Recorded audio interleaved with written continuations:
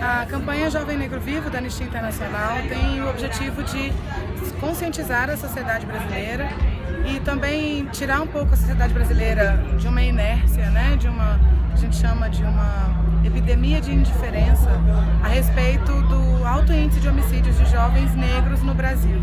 São, em 2012 foram mais de 56 mil pessoas assassinadas no Brasil.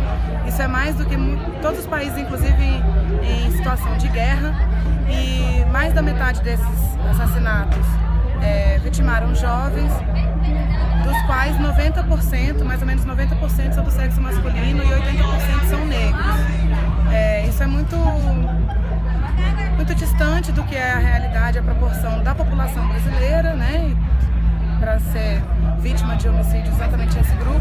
Então a Anistia Internacional tem essa campanha, é, lançou essa campanha no ano passado, em 2014, é, para chamar a atenção da sociedade e também para mobilizar os próprios jovens, inclusive negros é, e, e negras e toda a juventude, para buscar uma solução para esse problema.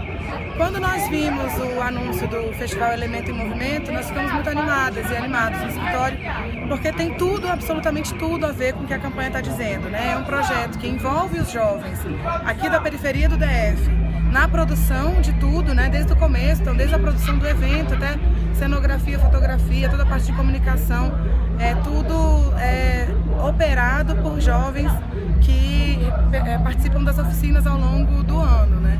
E, e também chama muita atenção para essa cultura jovem, né? A cultura negra, a cultura da periferia aqui no DF, que tem tanta carência de espaços de cultura e lazer para a juventude.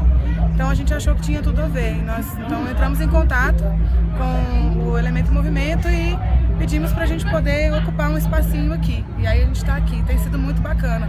Ontem mais de 800 pessoas assinaram a petição Diga Não à Execução, que tem recomendações ao governo do estado do Rio de Janeiro em relação a homicídios cometidos por policiais militares em serviço. Então, é, homicídios decorrentes de operações policiais no, no estado do Rio de Janeiro.